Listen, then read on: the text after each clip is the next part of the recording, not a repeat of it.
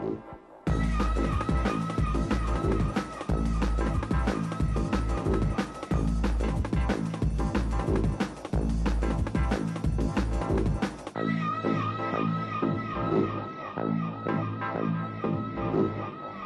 หลายคนที่เกิดเจ็บไข้ได้ป่วยเข้าโรงพยาบาล มักจะคิดว่าคุณหมอต้องให้น้ำเกลือเสมอไป บางคนอยากให้น้ำเกลือเพื่อให้ร่างกายสดชื่นแข็งแรง แต่เอะจริง ๆ แล้ว น้ำเกลือมีความจำเป็นต่อร่างกายเรามากน้อยแค่ไหน และมีเกณฑ์การให้น้ำเกลืออย่างไร เราไปค้นหาคำตอบในรายการวิทยาศาสตร์รอบตัววันนี้ค่ะ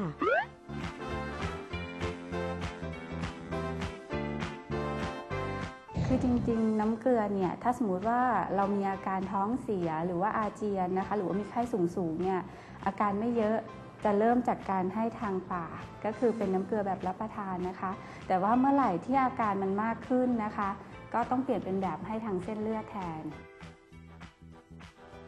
ส่วนใหญ่น้ำเกลือที่ให้ทางเส้นเลือดนี่ก็คือจะใช้กับคนไข้ที่ต้องนอนโรงพยาบาล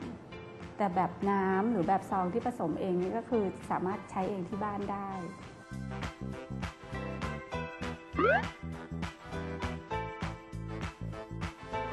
ใช้ภายนอกส่วนใหญ่เนี่ยก็คือจะใช้กรณีที่ล้างแผลนะคะ หรือว่า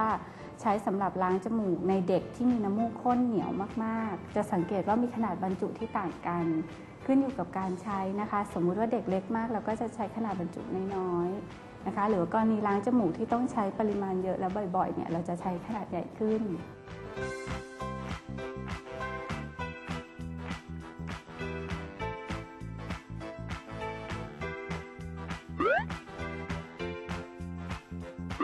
เกณฑ์การให้ก็คือจะดูว่าสูญเสียน้ำและเกลือแร่มากแค่ไหนเนี่ยค่ะ ถ้าสมมติว่าสูญเสียเล็กน้อยนะคะ สามารถให้ทดแทนทางปากได้ เราก็จะเลือกชนิดน้ำหรือชนิดผงที่ไปละลายน้ำนะคะ แต่เมื่อเมื่อไหร่ที่คุณหมอประเมินแล้วนะคะ คนไข้เนี่ยมีการสูญเสียน้ำมากๆนะคะ ก็ต้องให้คนไข้นอนโรงพยาบาล แล้วก็ให้น้ำเกลือทางเส้นเลือด ก็เป็นการทดแทนเกลือแร่ที่เสียไปอย่างรวดเร็วอะค่ะ